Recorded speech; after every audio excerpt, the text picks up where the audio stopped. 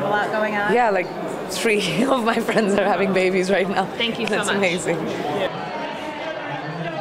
I was brought up both parents who did volunteering way, way after they retired. My mum still volunteers. Your mum really dedicated her life to non-for-profit. So both of us grew up that that is just part of what you do. So yes, you work, you take care of your family. Yes, you work, but you give back in whichever way you can. We're bringing our, our kids up in that way, and we're just proud to be here and involved with this because the people who work at this organisation, the volunteers who go in every single day, it's humbling to be, you know, around them. Honestly, it's amazing.